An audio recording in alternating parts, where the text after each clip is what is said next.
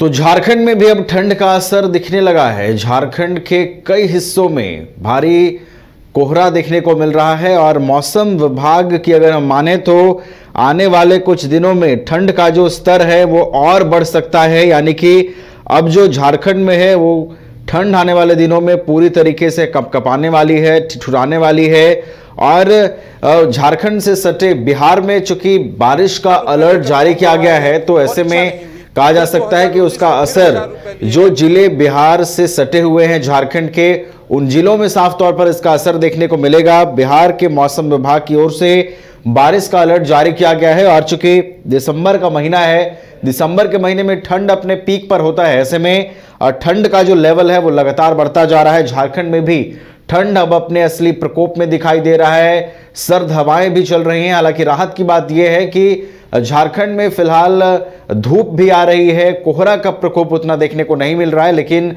धूप ज़रूर देखने को मिल रही है। ये एक राहत की बात है लोगों के लिए।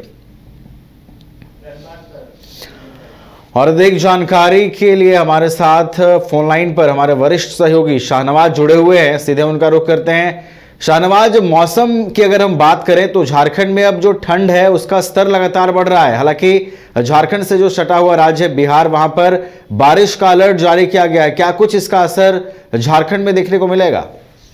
हाँ बिल्कुल, जिस तरह से दिसंबर का महीना आमतौर पर यह माना जाता है कि कड़ाके की सर्दी पड़ेगी, ठीक उसी तरह की स्थिति है, लेकिन जिस तरह से दक्षिण के राज्यों में साइक्लोन का असर हुआ, उसकी वजह से पूर्वी राज्यों में भी इसका व्यापक असर देखने को मिला, और पिछले दिनों तो राजधानी रांची समेत कई जिलों में बारिश भी हुई थी। लेकिन खास बात यह है कि इस ठंड की वजह से अब जो कई बीमारियों का जो प्रकोप है, वो बढ़ रहा है जो अगर आंकड़ों की माने तो केवल ठंड की वजह से ब्रेन स्ट्रोक के जो मामले हैं, वो बढ़ गए गए हैं। इसके साथ ही जो रेगुलर जो बीमार रहने वाले लोग हैं चाहे वो हार्ट के पेशेंट हो अस्थमक के बीपी के शुगर के, उन, उनको खास तौर पर सलाह दी जा रही है कि वो ठंड से बचे, अपने आप को ठंड से अलग रखें। लेकिन इस बीच में हमें यह भी ध्यान रखने की ज़रूरत है कि रांची नगर निगम की ओर से या रांची जिला प्रशासन की ओर से प्रमुख चौक चौराहों में अलाव की व्यवस्था की गई है। साथ ही जो वेंडर मार्केट है, जिसे अटल स्मृति भवन के तौर पर भी जाना जाता है वहाँ पर पचास की संख्या संख्या में अस्थायी जो है वो बेड लगाए गए हैं, जिसमें जो सड़क किनारे रहने वाले लोग हैं, जिनका कोई आश्रय नहीं है, उनको वहाँ पर लाकर रखा जाएगा। महिलाओं और पुरुषों दोनों के लिए पचास की संख्या में बेड बनाए गए हैं। तो ये कोशिश की गई है, फौरी कोशिश की ठंड से लोगों को बचाया जाए।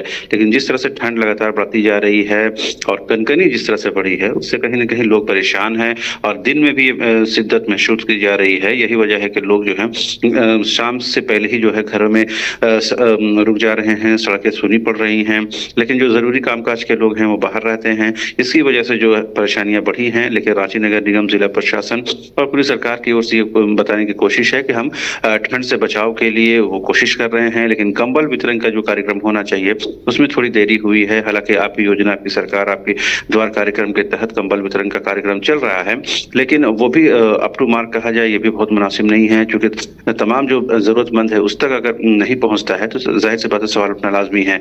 बहरहाल जिला प्रशासन हो या निगम हो, उसके तरफ़ से अलाव की व्यवस्था आश्रय गिरी की व्यवस्था, अस्थायी आश्रय, इन तमाम चीज़ों की व्यवस्था की जा रही है। लेकिन जिस तरह से लगातार ठंड बढ़ रही है, उससे मरीजों की संख्या बढ़ती जा रही है। खासकर राज्य के सबसे बड़े सरकारी अस्पताल रिम्स में, जिस तरह से ब्रेन स्ट्रोक के जो मामले हैं, वो हर दिन करीबन तीन से चार की संख्या में आ रहे हैं। ये पता चलता है कि किस तरह से ठंड की वजह से जो लोग हैं, वो बीमारियों में भी मुबतला हो रहे हैं। जी। अब बिल्कुल ठंड का जो अब स्तर है, लगातार बढ़ता जा रहा है। हालाँकि जिला प्रशासन की ओर से भी तमाम तरह की जो व्यवस्थाएँ हैं, वो की जा रही हैं। बहुत धन्यवाद शाहनवाज हमारे साथ जुड़ने के लिए और इन तमाम जानकारियों के लिए।